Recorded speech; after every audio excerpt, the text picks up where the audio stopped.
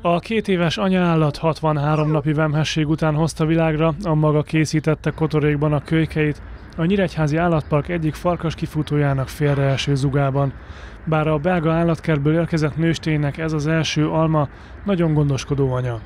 A két és felhetes sarki farkas kölykök 6 hetes korukig anyateljel fognak táplálkozni, majd fokozatosan szoknak át a szilárd táplálékra, amely a farkasok esetében elsősorban húst jelent. A sarki farkas, a farkas egyik alfaja, fehér bundával rendelkezik, nem véletlen, hiszen Észak-Amerika sarköri részein őshonos.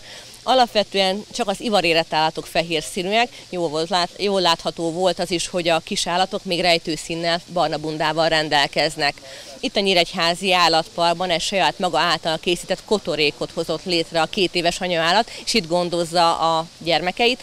Nagyon-nagyon aggódtunk, hiszen ez volt az első alom, amit elkezdett nevelni, de nagyon mintás példaértékű anya. A sarki farkas a farkasok egyik legnagyobb testű alfaja, amely a tundrán él kisebb családi közösségekben, télen esetenként a családok nagyobb hordákba verődnek.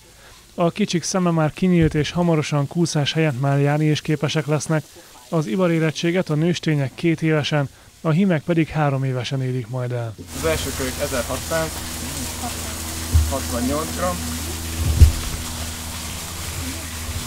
Egy cuka. Megvizsgáljuk. A kölykök ugye most 17 naposak, két hím, illetve egy nőstényi varó állat született, most estek át az első átorvosi vizsgálatukon, ugye súlyt mértünk, az általános állapotokat felmértük, illetve féreghajtópasztát kaptak, vakcinát, valamint egyedi azonosítót.